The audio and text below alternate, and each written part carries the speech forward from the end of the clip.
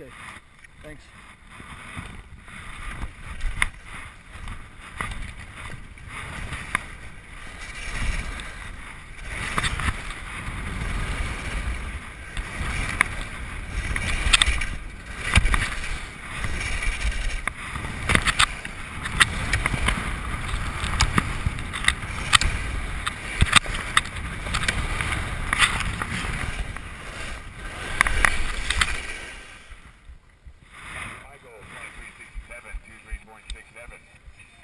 23 handicap silver medal run. A mere .07 off the gold.